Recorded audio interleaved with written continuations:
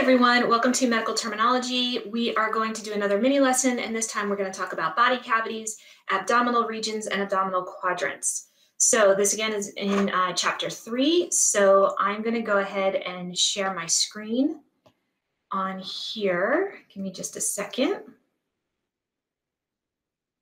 Gotta love technology, right? All right, so there you should see my Jamboard. All right, and here we have the body cavities. So the body contains many cavities or spaces, and these spaces contain organs. Some are hollow, but the ones that we're going to talk about today are um, the ones that contain organs. Some open to the outside of the body. The ones that we're talking about today do not open to the outside of the body. They're completely enclosed except for one, and we'll get to that one. Um, the first one is the cranial cavity. That's this one up here. That's the cranial cavity. I'm going to change that to red. That's the cranial cavity up there. Use my little laser pointer. Um, the cranial cavity obviously contains the brain. The second cavity is this one right here. That is the uh, spinal cavity, contains the spinal cord. And the two cavities together are on the posterior aspect of the body, and those two cavities together on the dorsal aspect make up the dorsal cavity. You can see right here the dorsal cavity. I don't like that line. I'm going to make, get rid of that line. There we go. All right. So the cranial cavity contains the brain, and the dorsal cavity contains the. I'm sorry. The the vertebral cavity contains the spinal cord, and those two cavities can together are the dorsal body cavity because they are posterior. If you think of the the vertebral column as the dividing line, they're behind it, so they together make up the uh, dorsal body cavity. Okay. Now, if we go to the front of the body, there's lots of cavities in the front of the body. So we'll start uh, superior and we'll work our way uh, inferior. Remember those directional terms that we talked about, starting superior and work our way inferior. So up here we have everything in the chest. The chest cavity is called the thoracic cavity. Note the spelling there. It's got a CIC at the end, thoracic cavity. The thoracic cavity contains the heart, the lungs, and the great vessels. So everything up here in the chest is the thoracic cavity. Now within the thoracic cavity, it's divided up into smaller cavities. So on each side, we have the pleural cavities. Each pleural cavity contains a lung. All right, pleura refers to a lung. In the center of the pleural cavities is the pericardial cavity. Remember the word heart or the word part cardi means heart. So the pericardial cavity contains the heart. The the tricky one here is this whole center between the pleural cavities is called the mediastinum. And that mediastinum contains the heart, and the superior mediastinum contains the great blood vessels. So this whole thing is kind of one cavity called the mediastinum, contains the heart and the, the blood vessels, like the aorta, the pulmonary vessels. And we kind of divide it into the superior mediastinum, which contains specifically the esophagus, the trachea, um, parts of the aorta, parts of the um, the pulmonary vessels, the thymus gland, and then the lower part of the mediastinum contains the pericardial cavity. So it's kind of subdivided in there, but this whole area in here is the mediastinum. Okay, so the superior mediastinum and the mediastinum, but I think your book just divides it into simply the mediastinum. Okay, below here is the abdominal cavity the abdominal cavity contains your organs of digestion. All right. Viscera over here is the term for organs or internal organs, your viscera. All right. So your digestive viscera is just your digestive organs. So your stomach, your spleen, your gallbladder, your intestines, your liver, your kidneys, all your internal organs are contained in the abdominal cavity. The pelvic cavity is the lowest part, uh, just below the abdominal cavity. And that contains, it's got the, the hip bones on both sides. And the pelvic cavity contains the bladder, the reproductive organs, um, the rectum, um, the ovaries in females. The pelvic cavity is down here at the bottom. Now, there's no specific structure that divides the abdominal cavity from the pelvic cavity. So we sometimes refer to this whole area as the abdominopelvic cavity, as one big cavity. Abdominopelvic cavity, we just combine the words, okay? Up here, the structure that separates the thoracic cavity from the abdominal cavity is the diaphragm. Remember, the diaphragm is our chief muscle of respiration. That's the diaphragm, and that separates the thoracic cavity from the abdominal cavity. Right. But down here, there's really no structure that separates the abdominal cavity from the pelvic cavity. The picture is a little misleading. It looks like there's something here, but there's really not. It's more like an understood line, kind of like the top of your iliac crest, that bone right there. It's just kind of an imaginary line. There's no actual structure that separates those two cavities. Okay. So everything in the front, all those cavities that we just talked about, the thoracic cavity, the abdominopelvic cavity, everything in the front here, these are all anterior to the vertebral column. So we call those the ventral body cavities. They're ventral. Remember, ventral means on the front side. So those are ventral body cavities. Okay. So if you were to get a question like, um, the brain sits in what cavity? And your responses were cranial cavity, vertebral cavity, thoracic cavity, or abdominal cavity, then your response would obviously be the cranial cavity. But if you got a question that said, um, you know, uh, which of the following is true, and you said, uh, or you got the the question, which of the following is true? The brain sits in um, which cavities?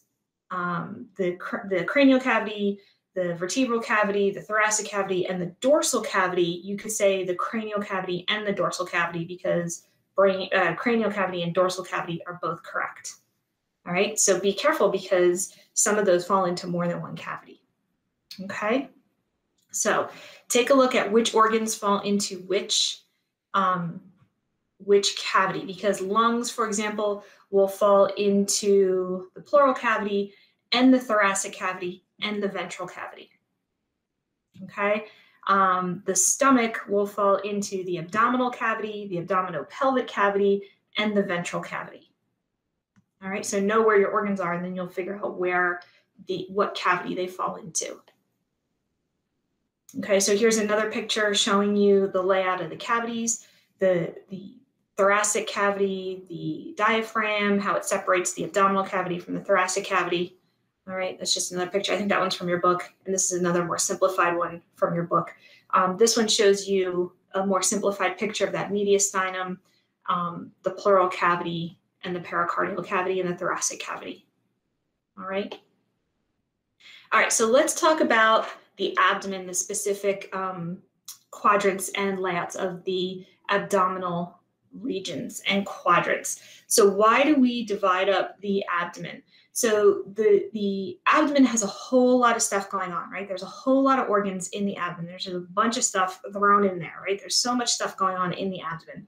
So dividing the, the abdomen up into quadrants and regions is a way for us, and by us I mean those who work in healthcare, it's a way for us to um, refer to locations of organs and structures and sometimes pain um, or abnormalities and identify where those are occurring. Because, um, for example, I worked in the ER for a long, long time, almost 20 years. And if somebody came in with abdominal pain, um, it's very difficult to diagnose somebody with abdominal pain. But if you know that most of the time somebody with appendicitis comes in with right lower quadrant abdominal pain because the appendix, nine times out of 10, is located in the right lower quadrant, then you kind of get an idea of what's going on if the patient comes in with a specific um, complaint of right lower quadrant pain.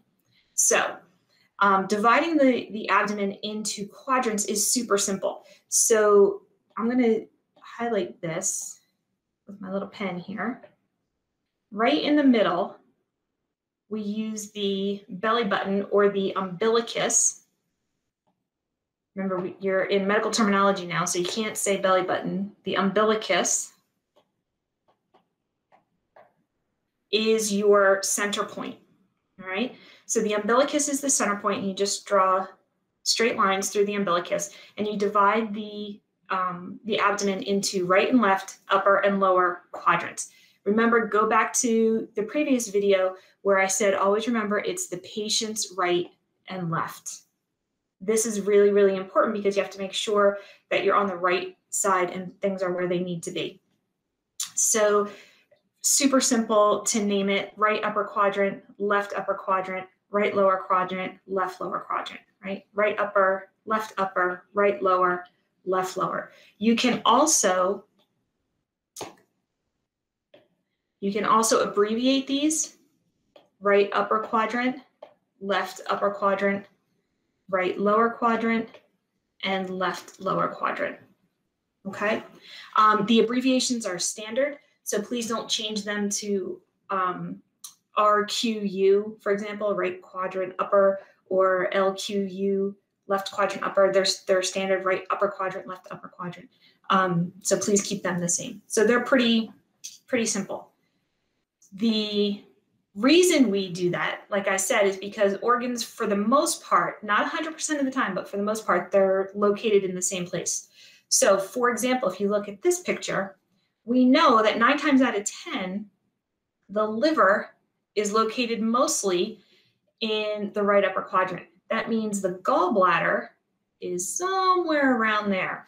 So if somebody comes in complaining of excruciating right upper quadrant pain, I'm pretty certain if they're somewhere in their mid 40s and they have fair to light skin and they have a high fat diet, they're probably having a gallbladder attack.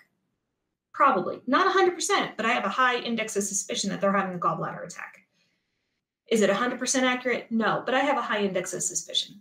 If they come in and they have right lower quadrant pain and they're running a fever and they're very tender to touch, I know that their appendix is right down here. Again, high index of suspicion that they may have um, appendicitis. So that kind of gears us um, you know to what we what we know because where things are located. Um, again the spleen is over here. Um, the stomach is cut away but the stomach is somewhere usually around in here.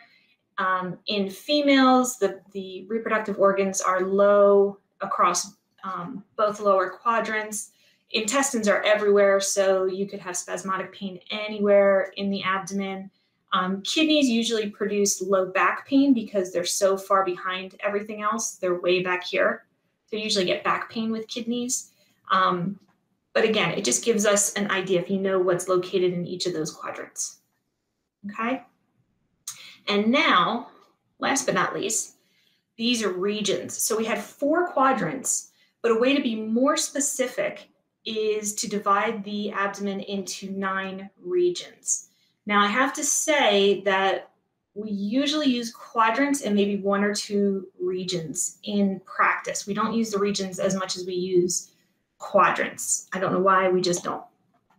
Um, but the regions are not quite as, um, I don't know, they're just not used as much. So again, it's not it's not difficult to name your belly button. Your umbilicus is right in the middle. So you basically take your, oops, that we just want a little thing right there. The umbilical region, start in the middle, draw a tic-tac-toe board. The umbilical region is right in the center, named for the umbilicus, right? That's easy enough.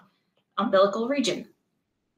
The other regions you just name going around. So the epigastric region, I'm going to get my black pen here. The epigastric region, epi means above or upon. So epi means above or upon. Gastro means, what do you, you remember what gastro means? Gastro means stomach. So the epigastric region, the IC at the end just means pertaining to. So epigastric means above the stomach, pertaining to above the stomach. So that's easy enough. And then down below, you have the hypogastric region. All right, so that's easy enough below the stomach. So epigastric and hypogastric region. Okay, so the epigastric region is really right here. sometimes we'll use it. If somebody's having epigastric pain we kind of almost describe it up in their chest a little bit more but if somebody's having epigastric pain um, usually we describe it as somebody who's having heartburn kind of pain. We'll say they're having pain like right in here maybe up even a little bit higher than that that's somebody that's having epigastric pain. Hypogastric region we don't use that quite as much. Um, we might use the term uh, supra pubic so you can probably guess how that got its name. Supra meaning above and pubic meaning the pubic area obviously. So above the pubic area um, same region as hypogastric. But your book is asking you for the hypogastric region so keep that in mind okay?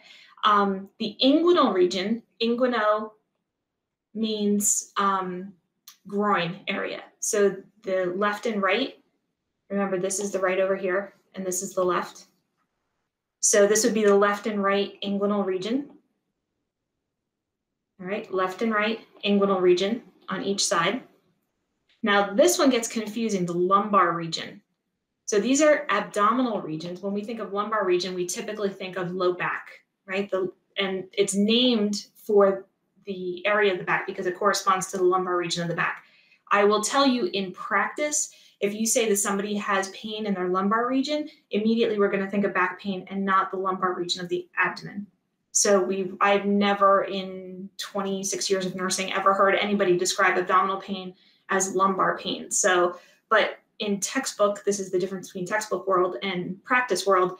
Um, those are technically the lumbar um, abdominal regions, but in practice we don't use that. Just this is one of those things you have to know for the textbook. And then lastly, the hypochondriac region. Now, you've probably heard the word hypochondriac to use to describe somebody who uh, complains a lot or thinks they're always sick. Um, hypochondriac, in this term, hypo means below, right? You know the term hypo means below. Chondro, chondro refers to cartilage, right? You may remember that from the previous video we talked about the knee. Chondro means um, cartilage. So here we're talking about the cartilage of the ribs. Yeah, there you go. All right. Cartilage below the ribs. Sorry, I'm still getting used to my new pencil here. All right. So this cartilage here is what we're talking about. All right. So hypo means below, chondro means cartilage. So hypochondriac is referring to below the cartilage of the ribs, right there. Okay. All right, and then again, you have the right hypochondriac region and the left hypochondriac region. And I just realized that that's the wrong thing. That should be a left over there, not a two. Ignore that. I'll get used to my new pencil, don't worry. Later videos will be great. All right, and that's it for the regions. So we have four quadrants and nine regions. And I think that's it. So if you have any questions, um, except about my new pencil because I'm not sure about my new Apple Pencil, um, that's it. All right. So questions, send me an email. Uh, and that's it. And I will try and do better on my next video. All right. Thanks.